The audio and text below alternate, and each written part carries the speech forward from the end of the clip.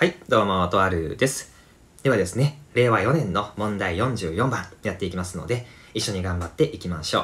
う。では早速ですけれども、問題から確認をしていきます。開発事業者である A は、建築基準法に基づき、BC 建築主事から見学認を受けて、マンションの建築工事を行い、工事完成後、A は当該マンションの建物につき、検査の上、検査済証の交付を受けた。これに対して、当該マンションの臨地に居住する X らは、当該マンションの建築計画は、研究基準法令に適合せず、見学人は違法であり、当該マンションもそのような建築計画に沿って建てられたものであるから違法であって、当該マンションの建物に火災、その他の災害が発生した場合、建物が倒壊炎上することにより、X らの身体の安全や家屋に甚大な被害が生ずる恐れがあるとして、建築基準法に基づき、違反建築物の是正命令を発出するよう、特定行政庁である B 市長に申し入れた。しかしながら B 市長は、当該建築学人、及び当該マンションの建物に違法な点はないとして、これを拒否することとし、その旨を通知した。このような B 賞の対応を受け、X らは行政事件訴訟法の定める公告訴訟を提起することにした。この場合において、丸1、誰を被告として、丸2、前期のような被害を受ける恐れがあることにつき、同法の定める訴訟要件として、当該是正命令がなされないことにより、どのような影響を生ずる恐れがあるものと主張し、かっこ、同法の条文の表現を踏まえて記すこと。丸3番、どのような訴訟を起こすことが適切か、記述しなさい。という問題です。さあ、こちらの問題に関しては、非常に引用が丁寧ですので、回答する内容に関しては分かりやすいかなと思います。実際この年度に関しては、この問題ができているかどうかによって、一個合否は分かれていますし、非常に基本事項ですので、必ずできるべき問題かと思います。では、まずは回答を確認します。回答例はこちらです。B 氏を被告として、重大な損害が生ずる恐れがあるものと主張し、義務付け訴訟を起こすとなります。特に今回なんですけども、義務付け訴訟かどうかというところで若干回答割れていましたので、それが一個の分岐点になっております。ではまずなんですが、今回の事例に関して図にまとめるとこうなります。まず A さんがいて、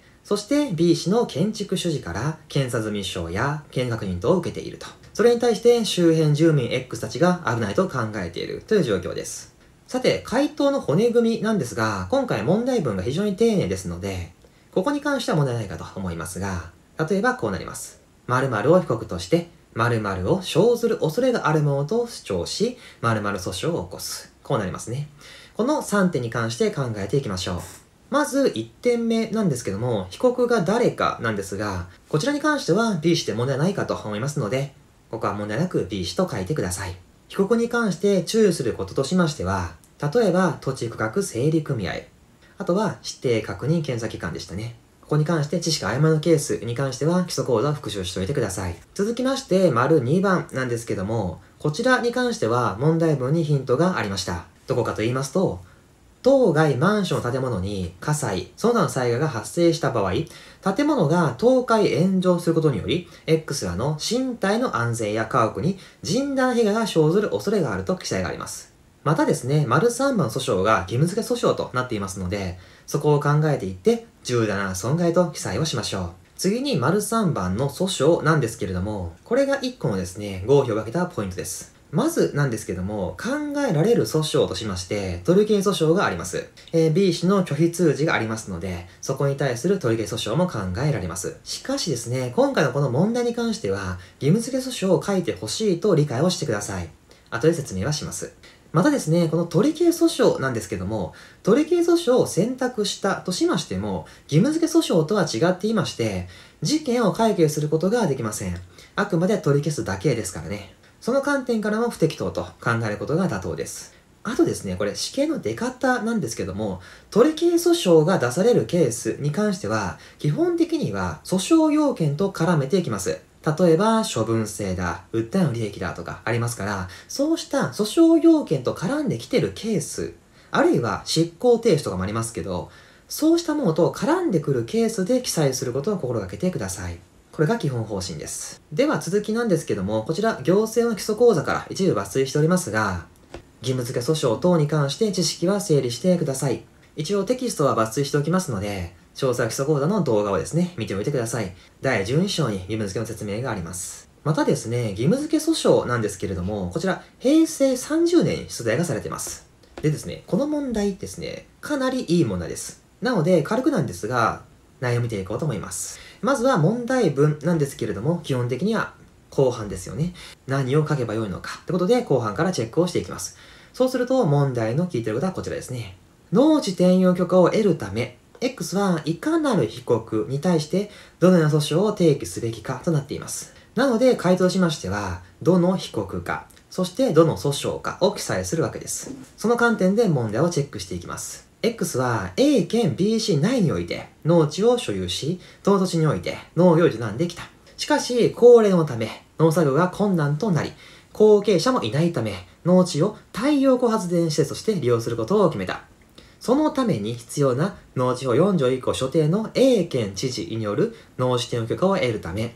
その経営官とされている B 市農業委員会の担当者と相談したところ、B 市内においては、太陽光発電のための農地転用は認められないとして、申請用紙の交付を拒否された。で、ここで1点補足なんですけども、その年もですね、給水の採点を行いましたけれども、ここのですね、拒否を捉えて、この拒否処分に対する取り消し訴訟って書いた方が一定数いました。ただですね、明らかにこの拒否に関しては処分性ありませんので、それは不適当と理解しておきましょう。あくまで処分ってものはですね、公権力の主体が行うものであって、具体的な方向化性がいりましたよね。今回は、ただの担当者のですね、申請用紙の交付の拒否に過ぎませんので、これは明らかに処分ではないと理解しておきましょう。では続きいきます。そこで X はインターネットから入手した申請用紙に必要事項を記入して A 県知事宛ての農地転用許可の申請書を作成し必要な添付資料とともに B 市農業委員会に転送した。ところが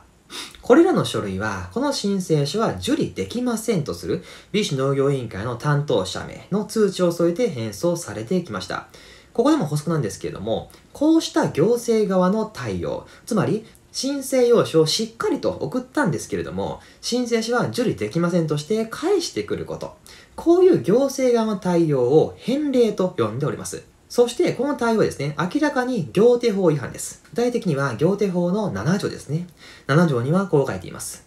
行政庁は申請がその事務所に到達とありますよね。これは卓越でも結構出ますけれども、ここは受理ではなくて到達となっています。えつまり書類が物理的に行政庁にしっかり到着すれば、到達すれば、行政庁側には何らかの返答する義務があります。えつまり補正命令するのか、あるいは許可するのか、拒否するのか、そういう処分を出す義務があります。なので、受け取らずに返すってことは、この行手法7条に違反しますので、そういう対応は違法となります。例えば、今後なんですけれども、資料としてですね、働いていく際にですね、申請用紙がそういう形で返送されてくると、それは違法ですので、そこを捉えて担当者と交渉する力も必要ですので、そこはしっかりと覚えておきましょう。そしてですね、問題としましては、こういうケースで農事点を許可を得るために、誰に対してどういう訴訟を提起しますかという問題です。そしてこちらの回答なんですけれども、回答しましてはですね、A 県を被告として農地点許可の義務付け訴訟に不作為の違法確認の訴訟を併合し提起する。こうなります。この問題はしっかりと復習しておきましょう。そしてラストですね、知識の補充なんですけども、差し止め訴訟に関してです。今回のこの記述に関して、正解は義務付けなんですけども、差し止め訴訟と記載した方、一定数いました。そしてそこで完全に合否は分かれていますので、ここは注意してください。何かと言いますと、差し止め訴訟がいつできるのかって言いますと、これはそもそも処分が出ていないケースを想定しています。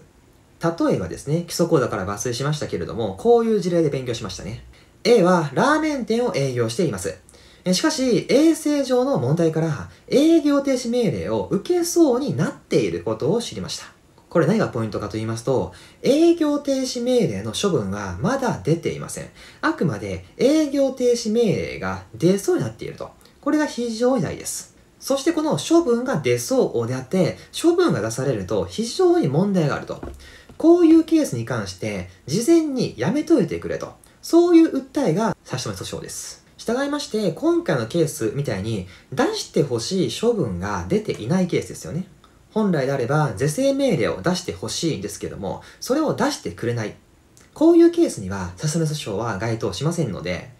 あくまで出されちゃまずいものがあると。だからこそ事前に出さんといてくれと。これが差し止めです。今回のケースは真逆ですよね。本当は出してほしい処分があるんですけれども、それを出してくれてへんと。だから出してくれやとなりますので、差し止め訴訟ではないと理解しておきましょう。従いまして、今回の答えに関しましてですね、え B 氏を被告として、重大な損害が生ずる恐れがあるものと主張し、義務付け訴訟を起こすとなりますので、この流れで理解しておきましょう。そして今後なんですけども、こうした1個の給図式の問題を通してですね、いろんな知識を派生して整理することができます。なので、そういう感じで整理はしておきましょう。そしてですね、こういう整理がですね、自分だけでは難しいと、っていう方もいらっしゃると思います。そういう方はですね、こちらの講座をフル活用したりとか、あとですね、個別指導もやってますので、そちらも活用するのはですね、使えるものは全部使って合格を勝ち取ってください。では次回ですね、平成26年の問題扱いますので、次回も一緒に頑張っていきましょう。そして基礎講座に関しましては概要欄から販売していますので、そちらもぜひぜひご活用ください。受験者のことを心より応援しております。頑張っていきましょう。